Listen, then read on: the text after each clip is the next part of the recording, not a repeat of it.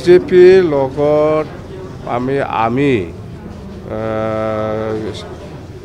BJP দলৰ সভাপতি আমাৰ কি হৈছে সভাপতি ডাঙৰীয়াৰ লগত আমি এনেকুৱা ফেচ টু ফেচ আলোচনা কৰা নাই হোৱাও নাই সেইটো মিছা কথা কৈ লাভ নাই। আমি চি এম ছাৰৰ লগত আলোচনা কৰিছে চি এম ছাৰে জানে।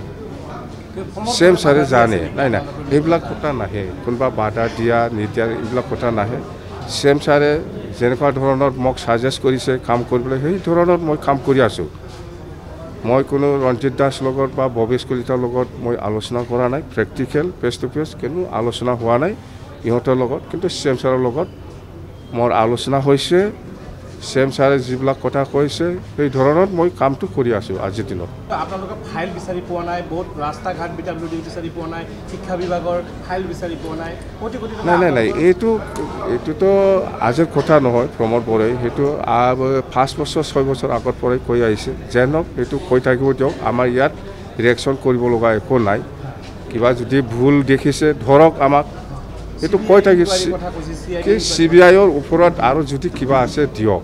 আমাৰ কোনো আপত্তি নাই। নাই নাই নাই আমি উচ্ছেদত কোনো সহযোগ নাথাকিব আমি ইয়াৰ অপজিট উচ্ছেদটো আমি বিচৰা নাই। উচ্ছেদটো আমি বিচৰা নাই।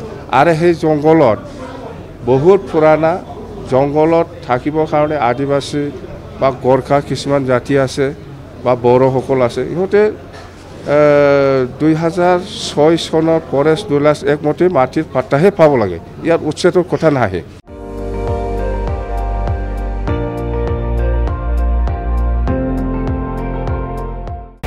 আপুনি চাই আছে এন ডি টুৱেণ্টি ফ'ৰ। সৰ্বশ্ৰেষ্ঠ নহয় সৰ্বোত্তমৰ দৌৰ